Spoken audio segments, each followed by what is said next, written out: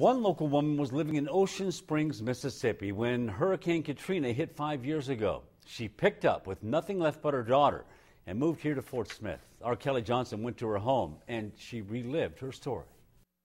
From the outside, it may seem the family living inside this Fort Smith home has it all. But five years ago, the devastation of Katrina took everything they had.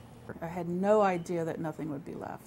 Hurricane Katrina destroyed Laura Hendryx' home, leaving her now with only memories. This slab is my house, okay? This is the house from here to here. It looks a lot smaller with just a slab.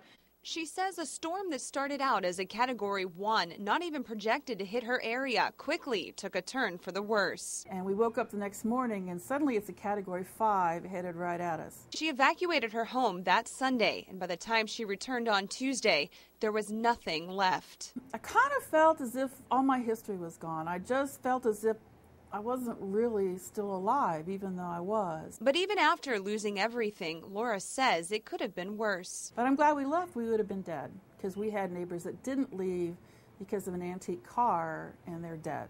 You know, a man, a wife, and a small child. Laura decided she did not want to rebuild in the same place and instead moved here to Fort Smith, where she has some family. I was totally devastated and I just was able to heal here.